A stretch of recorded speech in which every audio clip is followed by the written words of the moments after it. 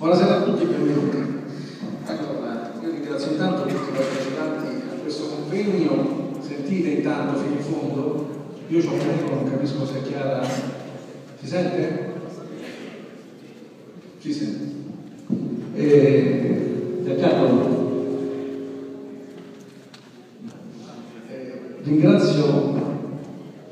tutti i partecipanti a questo convegno, un convegno che l'Ordine dei Geologi del Lazio ha voluto organizzare eh, nell'ambito di un ciclo di convegni che l'Ordine, che ricordo regionale, ha già organizzato presso le sedi di altri eh, diciamo, collegi provinciali nella Lazio, perché la materia è una materia che non soltanto ovviamente a noi geologi professionisti, ma anche degli altri operatori tecnici che sono venuti competenza ad intervenire su questa materia, parlo degli agronomi, degli architetti, degli ingegneri, degli industriali, dei geometri e dei chimici, hanno interesse sulla materia. Ovviamente l'interesse non è limitato soltanto ai professionisti che lavorano nel settore, ma come dimostra in sala la presenza eh, di molti amici che conosco, interessa ovviamente le imprese del settore, le associazioni di categoria e anche le pubbliche amministrazioni che poi con noi professionisti si interfacciano quotidianamente per cercare di operare nel rispetto delle norme che nel corso degli ultimi 6-7 anni si eh, succedute in materia, eh, ponendosi come obiettivo finale quello ovviamente di avere la salvaguardia del territorio, la sicurezza della collettività, la sostenibilità dei processi, eh, nel rispetto di norme che però quasi sempre obbligano dire, a percorsi tortuosi che a volte cozzano intanto con la economicità della procedura stessa. E poi con la filosofia ultima della legge che è quella di garantire certe sicurezze. Mi interrompo e do il benvenuto al sindaco di Viterbo e Giganni Michelini intanto.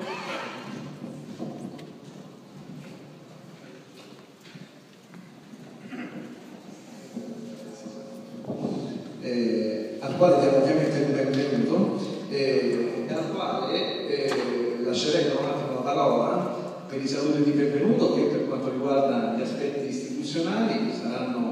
portati ovviamente dal sindaco di Viterbo alla mia sinistra Ingegno Michelini e alla mia destra dal presidente della provincia di Viterbo Marcello Veroni, nonché per la parte ovviamente nostra dei geologi dal dottor Di Loreto, consigliere nazionale del Consiglio Nazionale dei Geologi, originario di Viterbo, quindi neanche in casa, che porta dei saluti del Consiglio nazionale. Al termine di questa introduzione diciamo, istituzionale avrò il piacere ovviamente di lasciare la parola per i saluti e intervento ai rappresentanti, ai presidenti degli altri collegi che come ho detto in premessa sono interessati come noi alla uh, materia. E, dopodiché entreremo nel merito tecnico e proprio del pomeriggio con quattro interventi di relatori che ovviamente operano con dire, ottiche e punti di vista differenti del settore, al termine del quale poi si farà un dibattito eh, nel corso del quale i numerosi intervenuti, vedo la sala, una sala di 200 persone, quasi 3.000, avranno ovviamente a disposizione del tempo nel quale spero tutti noi possiamo poi con, una, un dibattito frontale dinamico cercare di chiarirci dubbi che quotidianamente dalla lettura delle norme che pure sono continuamente in, in, in evoluzione ci costringono a verificare. Quindi io non andrei oltre, siamo in leggerissimo ritardo, speriamo poi di recuperare nel corso del pomeriggio. Lascerei a questo punto la parola all'ingegner Michelini, sindaco di Viterbo, al quale ovviamente do il benvenuto.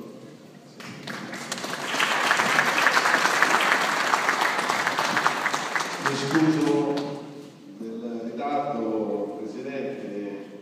purtroppo ci sta una giornata un po' campale con varie iniziative che abbiamo messo in campo in questa città. Bene, io innanzitutto eh, sono molto contento di questo, di questo convegno che, che geologi hanno organizzato in questa città, soprattutto su un tema che è d'attualità e che può essere anche eh, diciamo, foriero di soluzioni che possono risolvere alcuni problemi dal punto di vista ambientale e anche dal punto di vista costruttivo. Io credo che la presenza di ordini professionali che collaborino un po' con l'ente pubblico, tutti i livelli, sia comune, sia provincia, sia regione, sia sia molto utile perché voi portate effettivamente un punto di vista professionale specifico direi a volte meno amministrativo, ma che comunque tende a risolvere le soluzioni e coniugare insieme anche gli aspetti di natura amministrativa, ovviamente. E quindi reputo utile che ci sia questo confronto, temi come questo, ma anche su altri temi, che aiutano anche le amministrazioni a fare le dovute scelte. Eh, gli ordini professionali, così come le associazioni, sono un punto di riferimento della nostra società così complessa, così diversa, nei vari aspetti che a vario titolo rappresenta. E quindi è necessario avere una, una visione di sistema. Perché la visione di sistema ci porta poi a dare delle soluzioni a 360 gradi. Questo lo dico perché in modo particolare reputo che la situazione che stiamo attraversando è una situazione di crisi, crisi natura economica principalmente, eh, è una situazione dalla quale si può uscire fuori se eh, noi ragioniamo in termini di sistema. L'Italia molto spesso non ha ragionato in maniera direi coerente, molto spesso le leggi si sono cambiate in corso d'opera, molto spesso abbiamo contraddetto magari disposizioni che avevamo preso prima. E avere appunto riferimenti chiari, precisi, secondo me servono a risolvere quei problemi e metterci anche a passo con una concorrenza globale dove noi non possiamo evidentemente essere, eh, diciamo essere non partecipi, quindi dobbiamo in tutti i modi cercare di governare questi sistemi dove si misura anche la concorrenza le concorrenze che quali i paesi riescono a mettere in piedi. Allora io credo che eh, il nostro territorio, in particolare la Tuscia, qui c'è il Presidente della provincia, quindi sicuramente può esprimere come me eh, l'importanza che ha in questo territorio l'ambiente, la natura geologica, l'arsenico è uno dei problemi che derivano un po' anche dalla natura geologica eh, dei nostri territori, anche se ovviamente forse che vanno a interessare, mi auguro sempre di più, le giovani generazioni, fino ad arrivare diciamo, a noi che siamo un pochino più, più grandi. E credo che questo sia anche un modo di come noi dobbiamo rapportarci in un futuro dove l'ambiente, soprattutto per l'Italia, soprattutto per questo territorio, è un elemento che poco noi non abbiamo sempre natura idrogeologica rispetto ad altre parti o comunque sia se ci sono stati, sono stati diciamo, di limitata dimensione. Però io credo che anche eh, proprio per prevenire situazioni eh, di natura idrogeologica è importante accentuare la presenza e la professionalità della nostra, della nostra categoria. Eh, per fare questo bisogna essere sensibili a questi temi e credo che questa sensibilità deve essere anche eh, ehm, diciamo, sollecitata da parte delle, delle amministrazioni perché quello che noi magari spesso riteniamo che sia un dato così comune no? e che quindi sia considerato da tutti, molto spesso invece non è così. Molto spesso noi non abbiamo la memoria di quello che è accaduto, di quello che potrebbe accadere e questo è uno dei difetti magari anche della nostra civiltà. Allora io credo che dobbiamo ricordare quello che potrebbe accadere, quello che è accaduto in passato e come si possono prevenire delle situazioni di rischio ambientale, di rischio sismico, di rischio geologico e questo credo che sia uno dei punti fermi che deve avere il Paese e che deve avere l'amministrazione locale. Io vi auguro un buon lavoro, vi auguro di avere anche successo soprattutto per il futuro, visto che ci sono molti presenti e credo che tutti a quel titolo abbiano interesse e passione in questo settore. E proprio in virtù delle persone che ci sono che possono anche eh, avere soddisfazione dei lavori svolgendo questa attività, che comunque diciamo attività che sono connesse con quello che voi fate, ecco, mi auguro che questo territorio possa offrire lavoro, si può offrire lavoro se veramente noi crediamo nelle potenzialità di questo territorio che sono indubbiamente potenzialità anche ambientali. Quindi auguro buon lavoro e faccio tanti auguri a tutti voi anche in corrispondenza delle, delle festività natalizie. Grazie.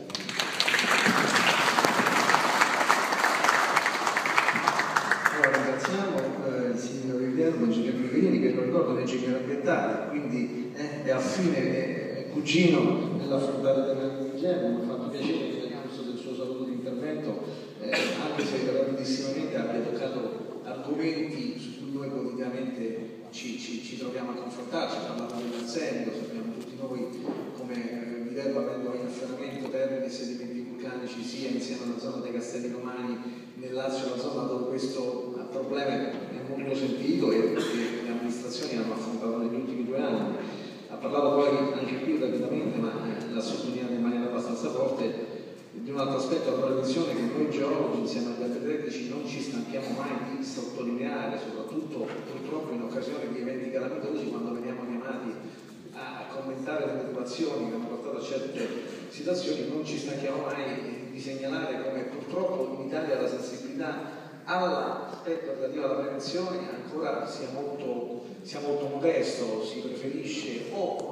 perché eh, le risorse sono sempre poche o perché non c'è lungimiranza di programmazione, si preferisce rincorrere l'emergenza, attuare soluzioni tamponi, eh, voglio dire, programmi congiunturali che tamponino eh, l'evento del momento piuttosto che investire eh, voglio dire, risorse pubbliche che poi tornano perché prevenire, lo ricordo e non mi è stanco mai di dirlo, costa sempre molto di meno piuttosto che investire in prevenzione, in pianificazioni sostenibili.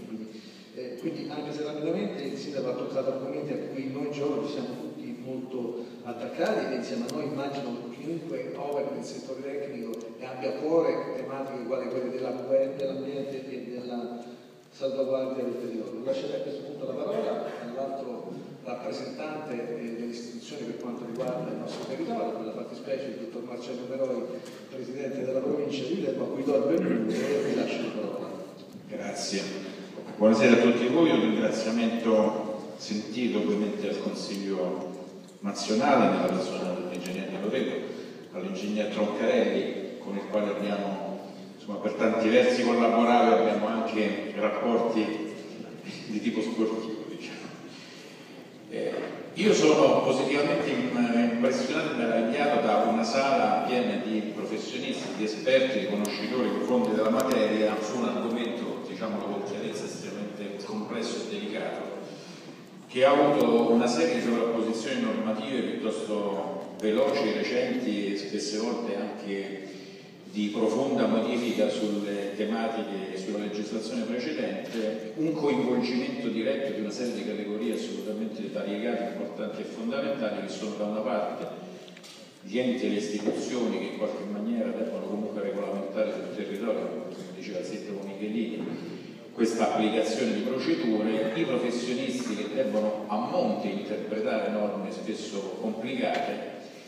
i privati e gli imprenditori che poi sono i fruitori o comunque in qualche maniera coloro che hanno un rapporto assolutamente diretto con queste problematiche e mettere a sistema una complessa e variegata indicazione normativa, legislativa e amministrativa. Per fare sistema, e ha ragione eh, Leonardo e credo che lo dica anche oltre che come amministratore, come imprenditore, bisogna fare soprattutto sinergia e collaborazione. E devo dire che io da quando ho eh, avuto anche insomma, il piacere e l'onere di guidare l'amministrazione provinciale, ho riconosciuto, non lo dico perché qui in prima fila, dall'ingegner Tosini, una capacità e un'intelligenza profonda nell'affrontare una serie di problemi che, famiglia lo sa perfettamente, forse non saremmo riusciti ad affrontare senza una collaborazione tra i professionisti, sia ovviamente nella loro singolarità che anche nei rapporti con le loro associazioni. Perché quando per esempio un anno fa abbiamo, credo positivamente, cercato di interpretare un'emergenza ambientale attraverso una indicazione, una classificazione di rifiuto o non rifiuto, anche, non è che ce lo siamo inventato dalla mattina alla sera, ma abbiamo avuto anche una serie di collaborazioni e quindi di indicazioni di sostegno che vengono effettivamente, che sono venuti dalle categorie professionali interessate. Senza questo rapporto e senza la capacità soprattutto delle istituzioni di capire che sul territorio eh, ci sono soggetti che ne sanno delle istituzioni per eh, specifica competenza, per studio particolare, per conoscenza del territorio e con i quali non bisogna mai creare un rapporto eh, né di subalternità né quantomeno insomma, in qualche modo di, di, contrasto, ma certamente di adesione e di rispetto e fiducia. Credo che questo siamo riusciti a fare. Su questo vorremmo ulteriormente confrontarci, perché quando poi intravede delle tematiche specifiche di questo tema, credo che dagli atti di questo convegno potremmo anche dare tutta una serie di ulteriori indicazioni che potranno essere certamente utilissime per noi nell'applicazione della, del quotidiano. Su un argomento, e questo purtroppo è un argomento estremamente delicato, di un paese che subisce attraverso una mancanza assoluta di programmazione un dissesto idrogeologico che però mi permette di dire con la geologia poco a che vedere perché è causato da una serie di concause che ovviamente di carattere urbanistico, amministrativo, ma più eminentemente di scelte politiche a volte scellerate, poi fanno ricadere in un discorso anche di costi ulteriori, ha ragione tu, insomma la prevenzione bisognerebbe capire che costa molto meno che poi il successivo intervento, che qualche cosa va cambiato. Ecco perché, lo dico, credete, con grande eh, convinzione, eh, convegni ed incontri come questi, dove si parla di cose concrete, di argomenti specifici, di argomenti che comunque interessano, ripeto, una vasta gamma di soggetti, sono quelli che spesso ci sono mancati e quindi grazie ovviamente al vostro ordine, grazie all'ingegner Troncarelli, grazie a tutti voi per la partecipazione. Eh? Sì, vabbè, è ingegnere geologo, lo do per scontato questo ovviamente, lo do per scontato. E quindi alla luce di questo, ecco, credo che sia assolutamente necessario che interventi tecnici e convegni come questi ci diano soprattutto uno spunto per sapere operare e per cercare, anche con le nostre manchevolezze, spesso insomma, con i nostri ritardi, di rappresentare insieme a voi questo territorio come credo che questo territorio bellissimo meriti di essere rappresentato e di essere soprattutto tutelato. Anch'io colgo certamente l'occasione per ringraziarvi dell'invito, del vostro lavoro e per augurare sinceramente a tutti voi e alle vostre famiglie tanti carissimi voi buon Natale e speriamo per tutti, per tutte le condizioni che noi tutti conosciamo, un 2014 migliore dell'anno presente. Non credo sia difficile, ma comunque speriamo che non sia solo una speranza. Grazie a tutti voi.